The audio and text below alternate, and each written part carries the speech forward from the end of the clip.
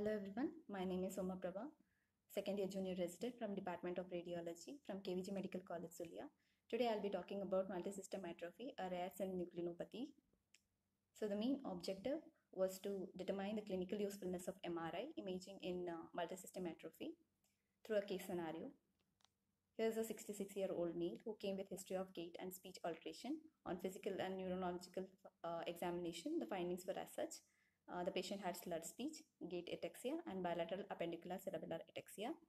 Deep tendon reflexes were present, three or four, and then there was bilateral Babinski sign positive.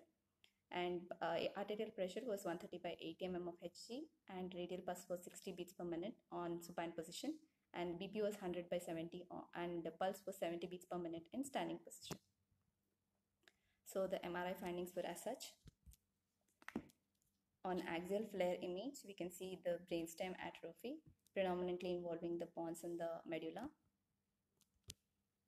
Here is a T2 axial image showing diffuse atrophy of cerebellum and the cerebellar peduncles and T2 hyperintensity involving the white matter uh, tracts in the pons, giving it a characteristic hot cross bun appearance suggestive of pontocerebellar tract degeneration.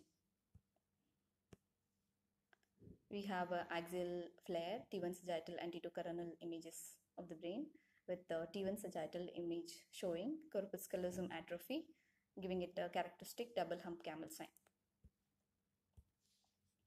So the I've summarized the MRI findings in the slide. The show it shows brainstem atrophy predominantly involving the pons and the medulla, atrophy of cerebellum and the cerebellar peduncle, and uh, due to T2 hyperintensity involving the white matters in the pons, and uh, atrophy of corpus, callosum. So the impression, diffuse atrophy of cerebellum and the cerebellar peduncle, brainstem atrophy predominantly involving the pons and the medulla with the hot cross bun sign, uh, feature suggestive of multisystem atrophy. So the coming to the topic proper, multisystem atrophy is more rapidly progressive neurodegenerative disorder among the various types of synucleinopathies.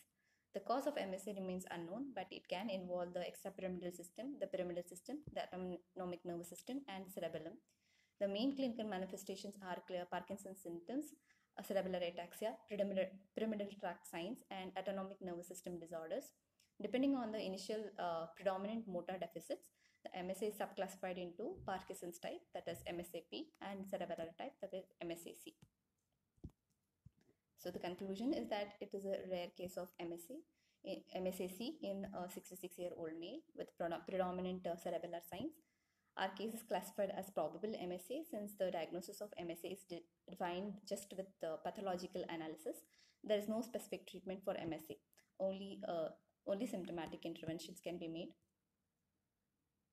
So these are my references.